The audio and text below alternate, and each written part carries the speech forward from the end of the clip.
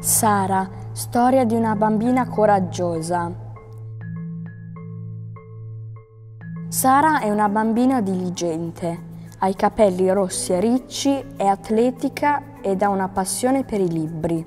Ha dieci anni e vive in Egitto, al Cairo, in un quartiere popolare. La sua famiglia è povera e deve pagare dei debiti quindi la mamma decide di non mandarla più a scuola per farla lavorare.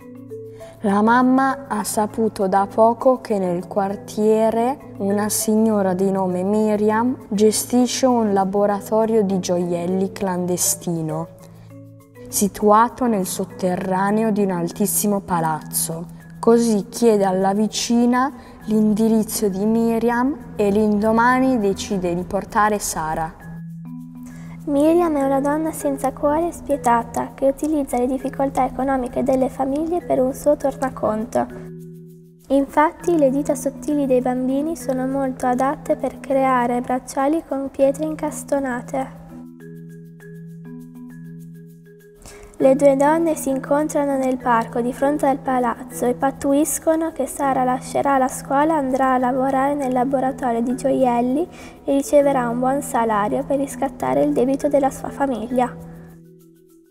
Il 16 aprile nel 2002 inizia la nuova vita di Sara. Tutte le mattine alle 6.30 si alza e beve una ciotola di latte con pochi biscotti e poi comincia a lavorare fino a tarda sera in una stanza adiacente a dove dorme con altri piccoli bambini per guadagnare 10 sterline egiziane, una misera paga.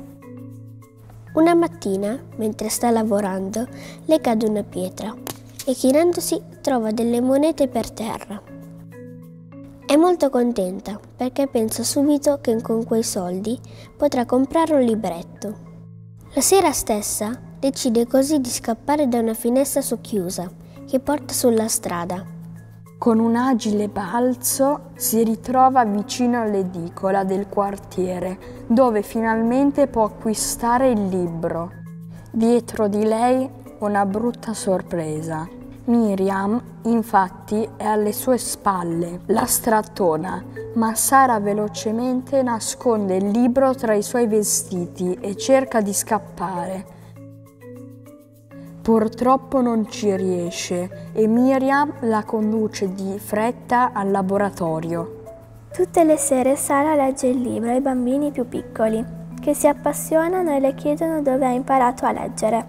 Sara gli racconta della scuola, del piacere di conoscere e scoprire e si confida dicendo che sente nostalgia dei suoi compagni di classe.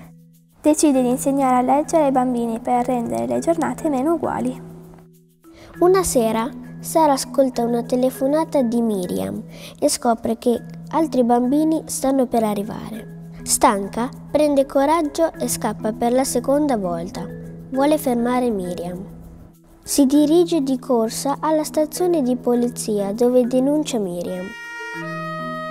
I poliziotti si recano al laboratorio dove la sorprendono con i bambini al lavoro. La arrestano e fanno chiudere l'attività clandestina.